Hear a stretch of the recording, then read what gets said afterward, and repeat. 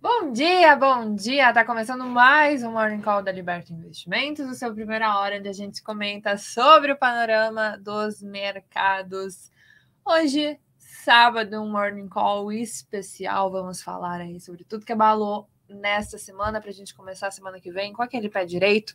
Comigo aqui, Felipe Nogueira, nosso assessor da Liberta Investimentos. Ele normalmente é muito cotado aí, participa dos nossos morning calls diariamente. Bem-vindo, Felipe.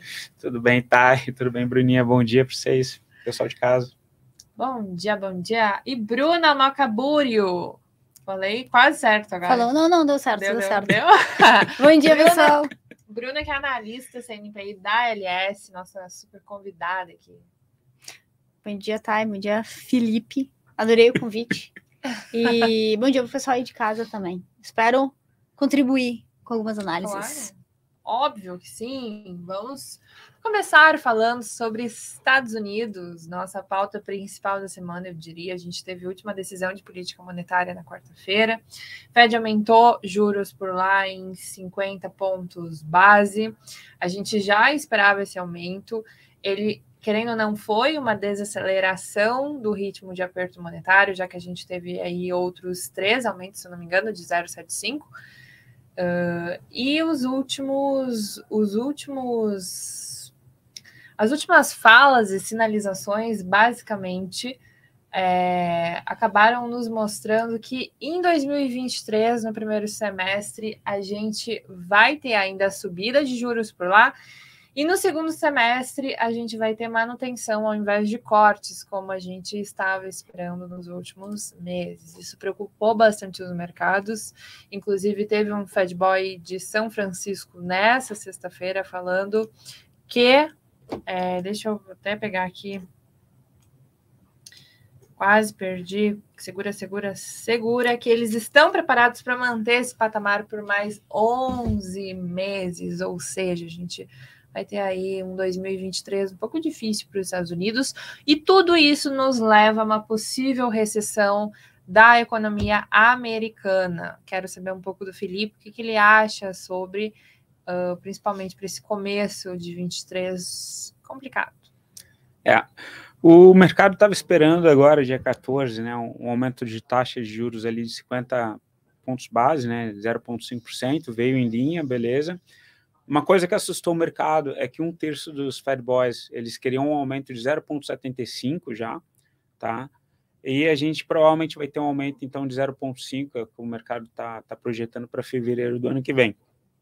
O que impactou o mercado e que trouxe, acho que até uma certa correção, Bruninha depois vai, vai para a parte dos gráficos e nos orientar ali melhor, é que a fala do Jerome Powell foi no sentido de que beleza, a gente tem uma inflação de 7,2, eles vão manter uma linha bem dura ali na, de, de taxa de juros até essa inflação vir convergir, convergir ali para a meta de 2%, então eles vão manter essa taxa de juros até essa inflação ceder de fato, né? E o mercado também estava projetando um corte de juros para final de 2023, eles falaram não tem menor chance de ter esse, esse, esse corte de juros, né? Até lá. E a gente já acende um, um, sinal de alerta ali, porque os indicadores dos Estados Unidos começaram a vir um pouco mais fracos. Então, a gente também teve essa semana ali, vendas a varejo caiu 0,6%, né? a gente teve o CPI que veio abaixo do esperado, quer dizer, os indicadores começam a vir pior, e a gente sabe que quando a gente aumenta a taxa de juros, a gente tira o dinheiro de circulação, né? desestimula o investimento em indústria, desestimula a geração de empregos, né, e aí todos são afetados hoje nessa economia globalizada. Bruninha, acho que de repente pode. Vamos falar a língua dos gráficos aqui, então, né? vamos vamos para a vamos, tela. Vamos para a tela aqui. Aqui eu trouxe o S&P, né? E aí a gente já vê uma movimentação dele. Se a gente for traçar aqui, a gente vê que ele, que ele vem caindo, né? Ele vem trazendo topos descendentes, que eu consigo, que a gente consegue ver aqui. É, e essa semana, esse é um gráfico que a gente fala que esses candles são a movimentação do preço na semana. Então, se eu for ver aqui, ó, então essa linhazinha aqui que a gente traçou, então cada vez está caindo mais, né? É, e aí a gente teve da semana passada um candle negativo, dizendo que ele teve uma variação negativa, e nessa semana também uma, uma variação negativa. E a gente tem uma formação dizendo que ele foi é, tentou subir, mas os vendedores empurraram para baixo. Então, se a gente for projetar alguma coisa, eu faria uma projeção como se a gente estivesse dentro de um canal e que cabe mais movimentação de queda. Então, o que, que eu diria? Que a gente consegue ver que ainda trabalhando dentro desse canal, que S&P realmente, graficamente, tem condições de cair mais. E aí eu alerto o quê para isso? A gente, muitas pessoas querem dolarizar a carteira, né? Ou comprar as ações lá fora, vendo a situação aqui do Brasil. E aí, por enquanto, eu acho que é interessante a gente pensar em, algumas, em alguns investimentos mais focados na renda fixa, porque a Bolsa Americana ainda tá, ainda cabe um pouquinho mais de, de queda para a gente se posicionar lá fora no caso, renda fixa americana, né? Bons de empresas é. americanas, isso, isso, fixados isso. mais curtos. Isso. Já aproveitando, então, segunda-feira a gente vai ter um almoço grátis sobre justamente este assunto. Ah, é? Exatamente. Ah, não renda vou perder, como é que é? Renda fixa americana. Como Com assim? Especialistas aí no assunto. Não me pergunta exatamente quais especialistas. Tá, eu não mas, tô com a minha colinha aqui. tá, mas fala onde é que é, eu também quero saber. Porém, meio-dia aqui no canal do, do YouTube da Liberta, fiquem atentos então. Teremos esse programa especial aí. Uma coisa já linka a outra. Nossa, Isso adorei. Perfeito para este É. momento. Me chama. Né? Bom, recessão 2023, vamos olhar um pouquinho além, eu acho, talvez, só para deixar os nossos, Que, nossos ouvintes geralmente, quando a gente fala aumento de taxa de juros, a gente é, vê essa fuga de tudo que é mais especulativo em direção à renda fixa, assim. Perfeito. Criptos também, a gente talvez mantenha essa, essa tendência de baixa, Nasdaq, né? Empresas de tecnologia, como é que você vê isso? aí? Então, as criptos, no geral, estão um mercado bem, bem largado, né? A gente viu que tem negociado bem menos depois do que aconteceu com a FTX, que largou, mandou as criptos para baixo, numa, num processo de falência mesmo, e depois a gente não viu nenhuma movimentação grandiosa. Então, ela está bastante de lado. Não estou vendo, graficamente, eu não vejo nada específico para ser feito. esperado, Eu não, eu não sei muito sobre esse mercado assim, de criptos, mas pelo que eu ouvi até do próprio Stormer, era, era esperado que agora, no começo de 2023, essa tendência se revertesse justamente porque ah, a posição do Fed começaria a ser outra, né? Eles começariam, de fato, a pensar em cortar juros a partir do segundo semestre de 23. Então, a gente tem aí uma, um passo para trás nesse sentido. Então, imagino que o mercado de cripto também não seja. O cenário fique ainda pior, né? Europa? Porque- Europa, vamos para a Europa, vamos para a Europa. A gente teve também decisão de política monetária por lá, o Banco Central Europeu aumentou em 50 pontos base a taxa de juros. Tivemos dados de inflação de Alemanha, de, enfim, Felipe pode, acho que está na mão aqui os dados é, da Europa, mas também cenário, o bicho está pegando por lá. né? A gente teve aumento de taxa de juros, né?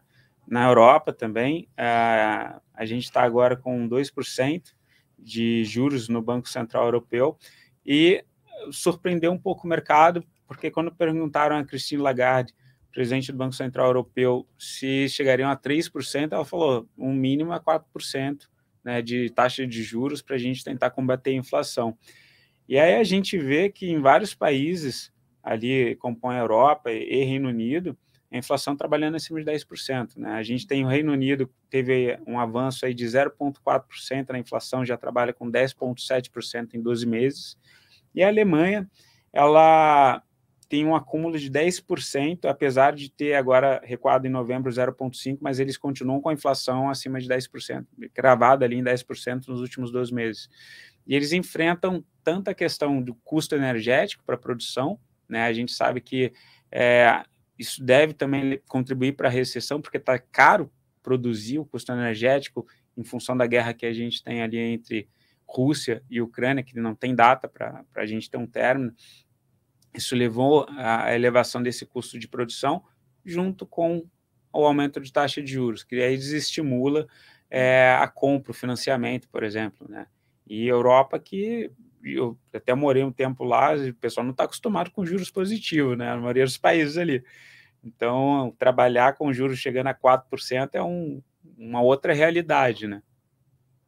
O que, que tu acha de. É, então, é, graficamente, aqui eu tô com um gráfico de DAX da Bolsa da Alemanha, E graficamente a gente também tem uma mesma movimentação de baixa, de tendência de baixa, quando conecto esses topos descendentes, a gente é, fica mais, mais claro que, que o negócio está caindo, né? Que o preço está caindo. Mas aqui eu já tenho mais um movimento um pouquinho mais otimista quando nas últimas semanas ele a bolsa começou a dar uma subida. É, esse ah, é o DAX 30 da Alemanha, né? Isso, tá. da Alemanha. A gente teve duas semanas negativa, essa semana está negativa, semana passada foi negativa, e nas semanas anteriores, né, a gente vê que ela teve uma variação muito pouco positiva. O que, que a gente imagina? Que ela precisa cair um pouquinho mais, e aí sim, talvez fazer um movimento que venha para cima. Mas é, ainda acredito que ela, que ela cabe um pouquinho mais de correção, que ela subiu e já está num, num, movimento um pouco de cansada. Lembrando que os gráficos, na verdade, a gente consegue ver a movimentação de preço, né? Então a gente consegue ver a localização de grandes fluxos, de grandes eh, fundos, de grandes empresas, deixando esse, esse rastro. E ele geralmente antecipa um pouco as, as, as notícias, né? Um pouco mais da, da expectativa de mercado. Então ele está um pouquinho mais bonito, acredito que fazer uma queda seria uma queda uma correção importante e interessante para depois a gente ver se a gente consegue já embarcar no movimento de alta. Perfeito. Vamos entrar em Ásia já? Bom, a gente tem visto então novos casos de Covid pela Ásia. Ontem de manhã, até é, eu brinquei no, no Morning Call com o Felipe de que a Ásia, nesse momento, está funcionando como uma gangorra. A gente tem novos casos, aí a gente de repente tem aí uma expectativa de que o governo, o governo comece de novo com as restrições pesadas por lá, no entanto, é, o governo vem e diz, não, peraí, vamos flexibilizar mais, até porque a gente tem visto protestos nas últimas semanas, né? Então ele tem que acabar aí é, sabendo manter essa gangorra muito bem que, que, que tu poderia comentar mais sobre é, a Ásia, Felipe? A gente tem um, um histórico, assim, a gente tá, tem um governo agora na China mais intervencionista, né, que a gente viu que meses atrás é, proibiu que as empresas de educação é, aferissem lucros, daí jogou as empresas para baixo, eles falaram também um pacote de 145 bi de estímulos para a economia, que até agora a gente não tem um, uma definição exata de como vai ser bem isso. Bem lembrado, bem lembrado. Né? É, e os dados da China estão vindo pior do que o esperado. A gente teve, por exemplo, a produção industrial, agora em novembro, ela cresceu 2,2%, é, sendo que em outubro foi de 5%. Né? Então, a gente está com esses indicadores vindo pior.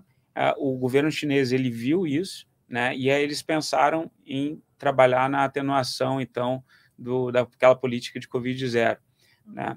Provavelmente o que os, os, especialistas ali, eu tenho visto eh, Deutsche Welle, alguns canais de fora, assim, é que eles vão fazer algo parecido com o Brasil, eles vão é, fechar, vão abrir, vão fechar, vão abrir, porque eles viram que teve um impacto muito grande né, no, nos indicadores econômicos. Um ponto importante também, que alguns analistas lá de fora, eu tenho observado o pessoal falando, é que vários micro, médios empresários, eles quebraram, e esse pessoal está indo para para a força de trabalho, né? Então a gente já está falando aí de uma segunda, terceira geração daquele pessoal que em 2008, de 2002 a 2008 saiu dos campos para a China, mais de 200 milhões de pessoas, né? Já era, já já está numa geração em que as pessoas estavam recebendo mais, era uma mão de obra mais cara, e a gente viu várias indústrias saindo, inclusive da China, buscando Vietnã, buscando Indonésia, Índia. Isso talvez ajude a baratear um pouco a mão de obra chinesa. Né? E uma coisa que começou agora a surgir no radar é o governo do Biden, tá? agora dia 16, eles falando em colocar restrições a importações de produtos de tecnologia da China para favorecer o mercado interno deles. Como a gente tem uma dependência muito grande né, da China, alguns pontos preocupam, eu acho. Né? Desaquecimento econômico preocupa, preocupa por quê? Porque a China é um dos maiores consumidores de petróleo Brent do mundo. Né? Isso faz com que o petróleo Brent, eles acelerando economicamente, o petróleo Brent ele recue também. Isso afeta diretamente a Petrobras, que é o, o petróleo de referência para a Petrobras. E por outro lado, por eles terem uma política mais intervencionista nesse governo, isso lembra que talvez eles investam mais em infraestrutura. Infraestrutura é consumo de minério e de aço. Então, de repente, até a Bruninha, quando a gente começar a falar de Brasil, é, mas pode falar de China também, ver de repente como é que está Petrobras, como é que está uhum. Vale, né, eventualmente alguma outra empresa ali, mas acho que elas acabam sendo afetadas e a gente tem que acompanhar a China de perto, né, por essa hiperdependência que a gente tem da, da China, né.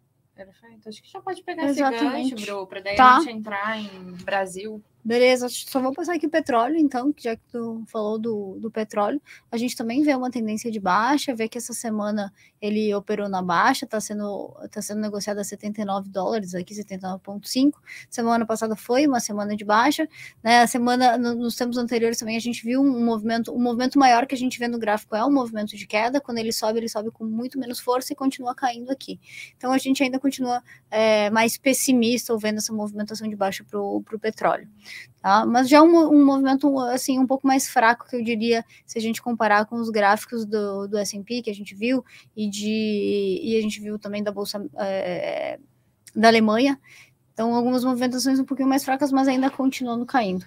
E aí se a gente for dar uma olhada aqui no Brasil já deixa eu só puxar aqui o profit. Se a gente for dar uma olhada aqui no Brasil a gente também vê o IBOV de duas semanas uh, esse semanal né? Nessa semana a gente caiu aqui uma variação de negativa de 4,34%. Semana passada também tivemos uma queda de só colocando aqui em cima para conferir certinho. De quase mais 4%, a 3,94%. É, então a gente viu essa movimentação bem forte na, no Ibovespa também. Quando a gente fala de Petrobras, a gente já fala de um gráfico bem bem ruim. Aí. A gente já fala de um gráfico bem ruim. A gente abriu com gaps, assim, que o mercado ficou bastante pesado, né? A gente vê. Esse aqui é um gráfico diário. A gente viu que ele nessa semana fez uma movimentação bem, bem para baixo, inclusive com gap, mostrando bastante exagero também de mercado. É, e quando ele sobe, ele sobe com pouco. A gente até pode ver volume financeiro, por exemplo, um indicador, né? Aqui a gente tem quando o Petrobras cai, cai com volume bastante alto. Eu estou comparando barras, não preciso entrar em detalhes de volume financeiro. E quando ele sobe, ele sobe com um volume bem fraquinho. Hoje subiu 0,05, quase nada. Uh, e a gente ainda vê uma movimentação, graficamente falando, de que Petrobras consegue cair um pouco mais, saindo dessa zona aqui uh, caindo com bastante força, com bastante volume financeiro. Então, é possível que a gente veja ela trabalhando em, em patamares ainda, ainda menores. Perfeito. Acho, já que a gente entrou em Brasil, acho quase impossível a gente não comentar das pautas políticas, até porque foi o que norteou essa semana no mercado brasileiro. A gente teve a diplomação do Lula na segunda-feira, tivemos o, depois anúncio do Mercadante aí para assumir BNDES, a gente Foi. teve falas do Lula criticando bastante privatizações. Então a gente tem uma série de, de pautas políticas que vão continuar até o final deste ano, e aí eu queria que o Felipe puxasse aqui uma teoria dele. Não tem teoria. Sobre... que ele vem comentando aí durante essa, essa semana sobre o que, o que, que a gente pode esperar do patamar do Ibov para esta reta final do ano? É. Para a próxima semana. Primeira coisa, né? O mercado não está nem aí porque eu acho. Esse é o primeiro ponto. Importa o que a gente vai fazer a partir da movimentação do mercado, né? É, eu tenho mais dúvidas do que qualquer coisa. Se a gente fala internamente, acho que tem muita gente também que está tá bem dividido. Alguns mais otimistas, outros mais pessimistas. A gente teve a live essa semana é, com os clientes, né? E nosso comitê de investimentos. Do nosso comitê de que investimentos. Está na íntegra, na Liberta Play.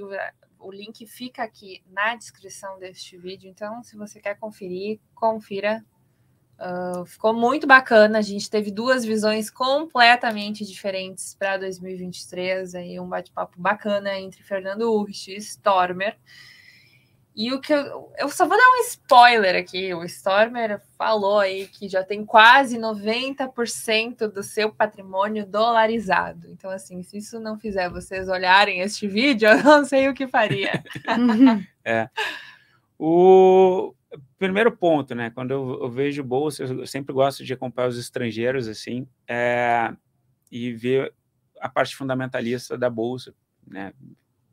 Tem a minha origem ali de, de contador e advogado trabalhando em corporações de empresa, eu sempre vejo primeiro os números antes dos gráficos, né?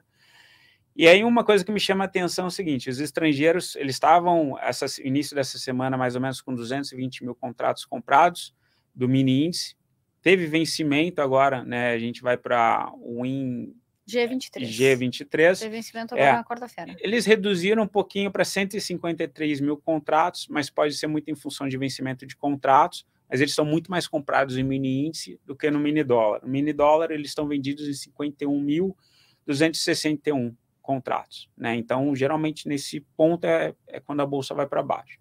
A gente teve a manutenção né, de taxa de juros, 13,75. A gente estava esperando que a partir do início do ano que vem, a maioria do, dos, né, do, do mercado estava esperando já começar a falar em cortes.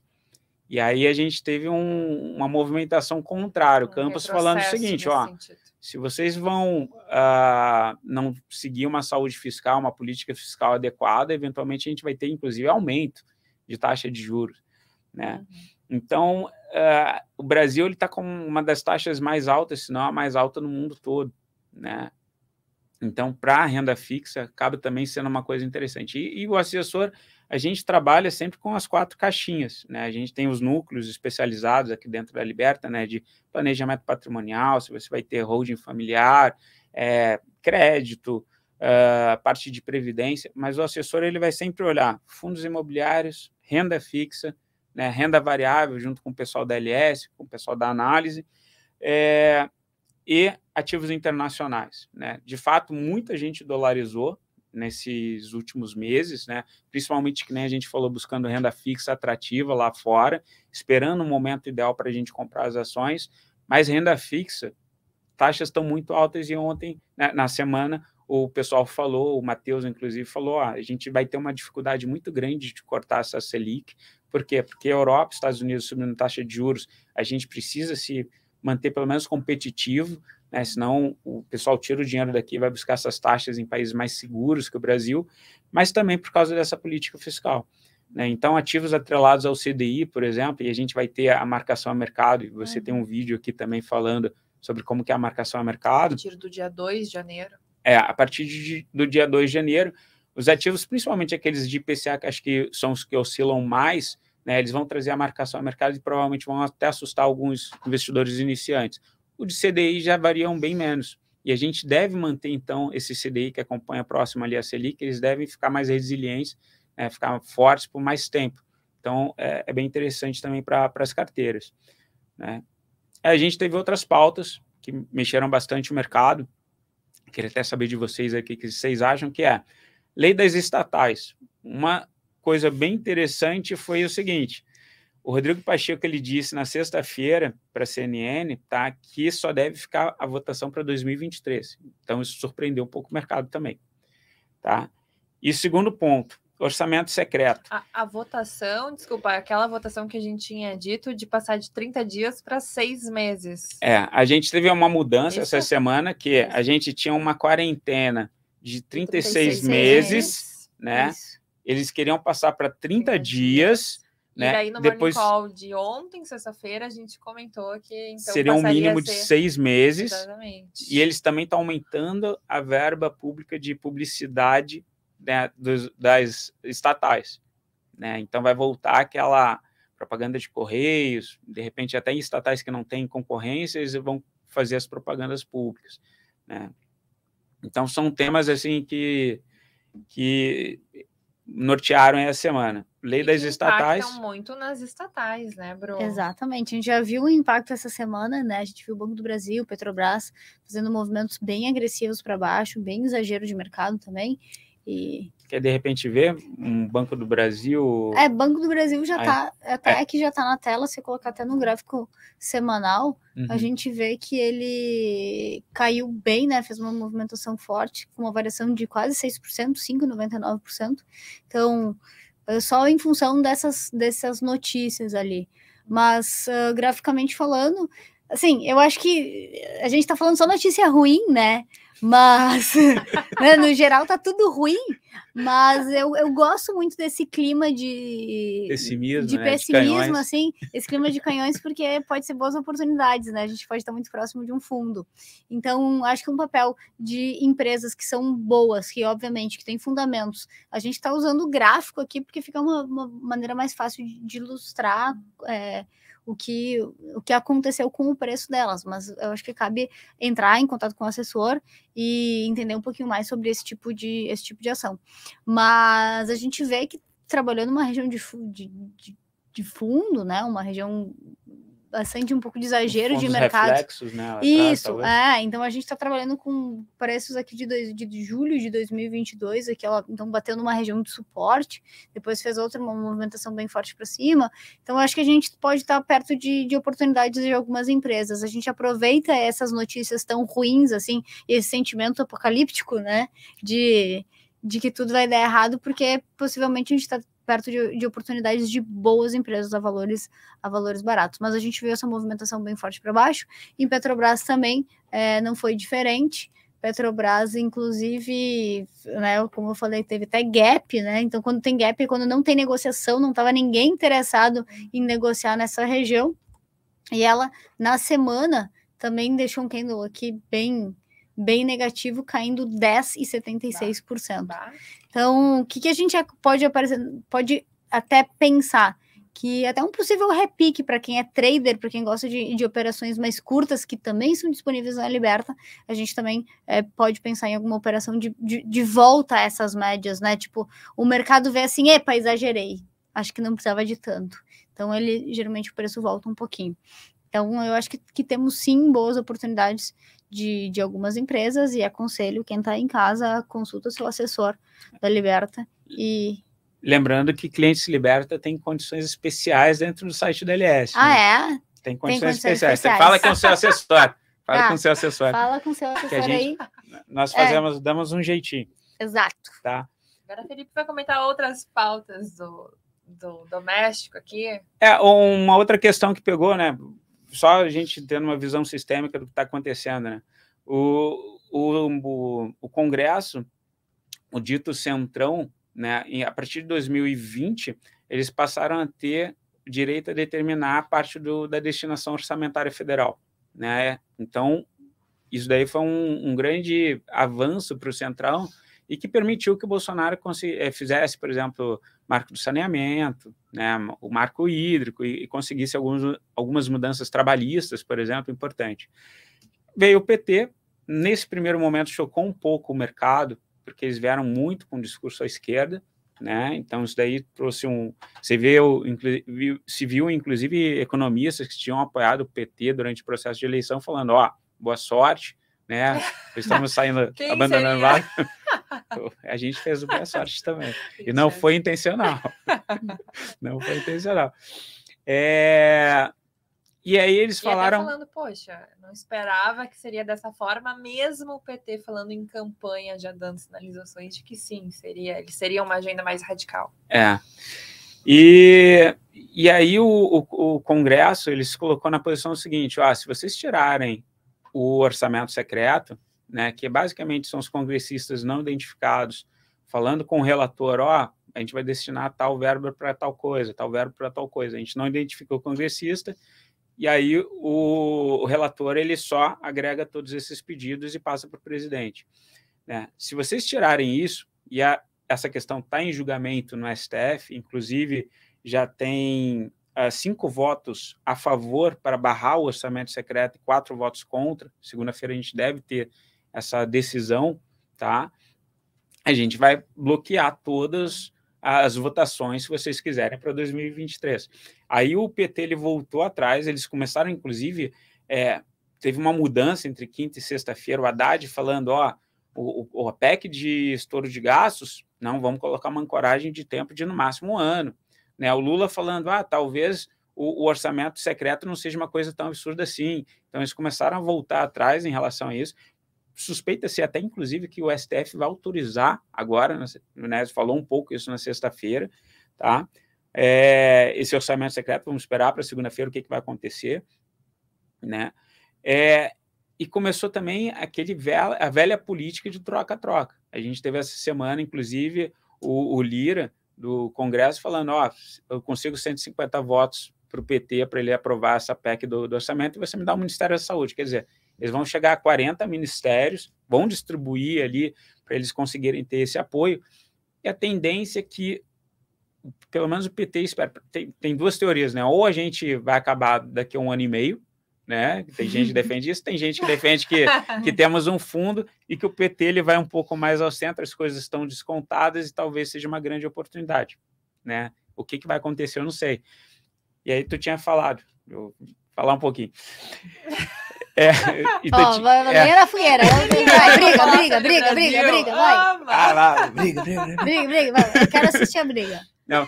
É, existe a teoria da conspiração também, que é o PT num primeiro momento, ele queria marcar o fim do governo Bolsonaro com a bolsa, tipo, lá embaixo, dólar lá em cima, para daqui a quatro anos, né, ele falar: ah, a bolsa subiu 45%, o dólar caiu 30%, olha o que fizemos de bom, né? E talvez, talvez, uma notícia que a gente falou essa semana também, o pessoal da Bloomberg fez uma pesquisa uhum. com é, gestores, gestores, exatamente. E mais de 60% dos gestores apostavam já numa recuperação de China a partir de 2023. E aí eu me pergunto, se a gente começa um governo com a bolsa muito baixa, um dólar alto, e se de repente a gente tem uma recuperação de China, e nos últimos dois anos a gente pega um ciclo de alta de commodities, é tudo que o PT vai querer para um, uma reeleição. Falando, inclusive, né? que 2023 é o ano das commodities, né? Ah. Já, tem essa. Sim, tem, tem E aí a gente teria um cenário perfeito um, né, para um. Ou o, o, Lula disse que não vai se candidatar mais, mas eventualmente tem um Haddad é, para 2026. Né? E a gente deve ter ou volta o Bolsonaro e, e Haddad, ou o Tarcísio e Haddad, provavelmente deve ser essa bipolarização para 2026. Não sei o que vocês acham. Bruno. É, tudo faz sentido, né?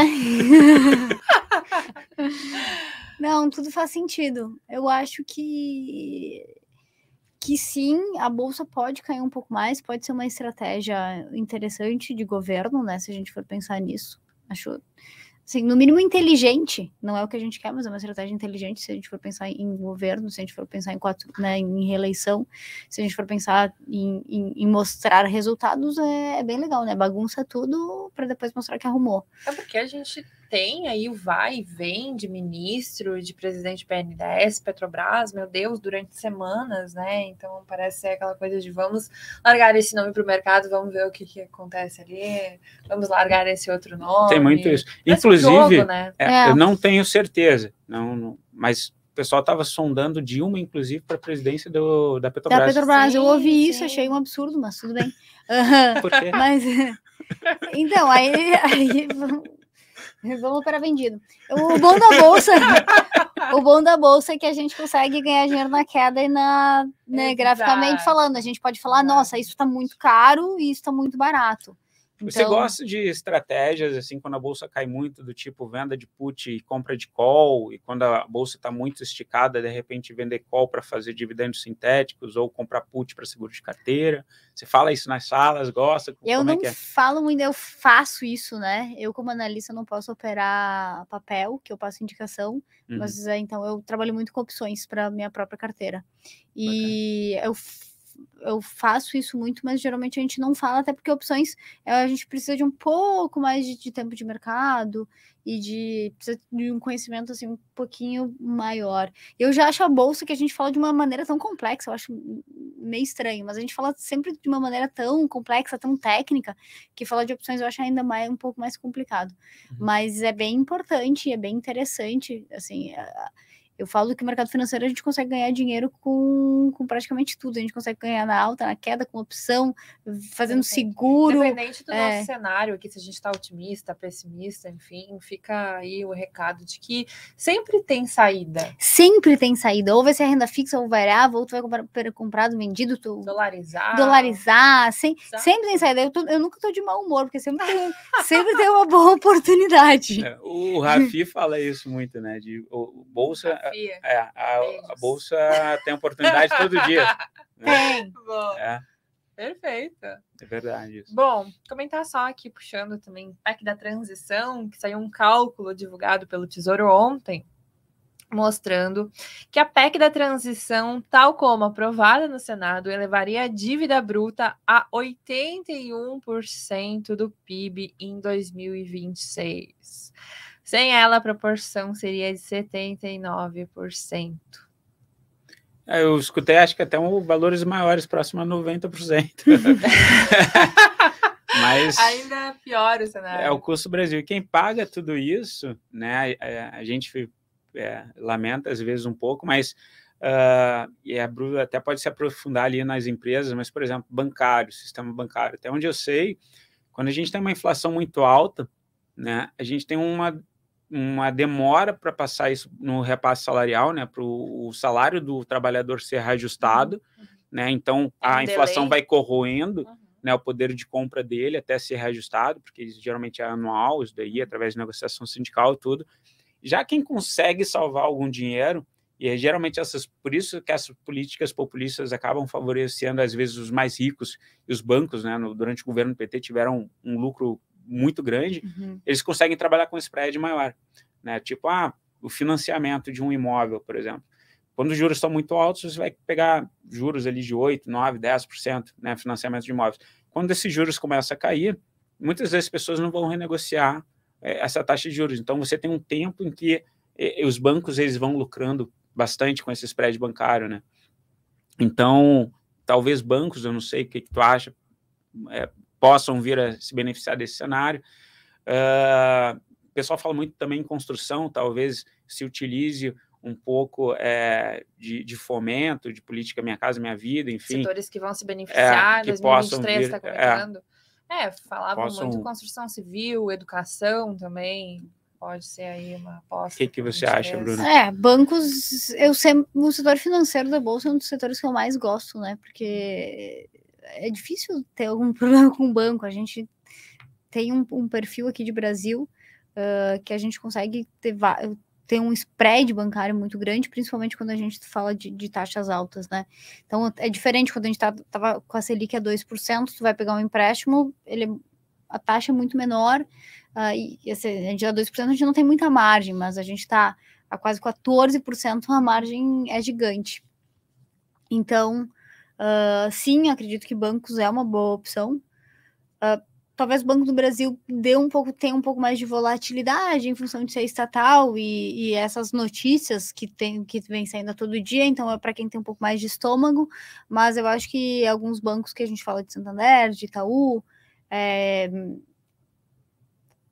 é, Santander, Itaú, enfim, esses bancos ali que são os grandes bancões, eu, não- eu, eu fico bem, bem tranquila e acho que é uma, uma boa oportunidade de investimento para 2023. Bacana. Bacana, bacana. Vamos encerrar? Né. Alguém tem mais alguma, algum recado aqui importante? Acho que Uma, uma palavra para semana que vem. assim. Uma palavra que vocês acham que vão definir a semana que vem. Desafio. oportunidades. Polêmico, é, polêmico, polêmico. A gente só falou de coisa ruim, ele falou oportunidade. Para mim é oportunidade. certo. Eu, eu gosto do sangue na tela. Não, eu também gosto de sangue na tela, mas eu acho que vem um pouquinho mais de sangue. Vem. Mas o, o rally de Natal do último de 2022 começou no- na primeira semana de, 2022. é, sim, de janeiro, né? Começou É. em janeiro. E aí foi Mas até março. Tu a minha visão é, é- é bem o seguinte, eu acho que quando tu falou dessa de estragar a bolsa, estragar, levar o dólar à altura, eu faz, fez também bastante sentido, até porque quando a gente leva a bolsa tá barato, mas tá todo mundo com medo. Só que se ela cair mais, vai ficar na cara, fala: "Ei, Uhum. tá barato, tá de graça, meu irmão". E É. aí começa, Tu consegue colocar um site? claro, O do Oceans 14, do PL, da Bolsa. Acho que é só legal pra gente ver. Bacana. Ou por causa dessa. Ocean, é, Ocean o quê? Oceans 14 e aí P barra L. 14 PL, vamos ver. É. Esse site eu não conheço.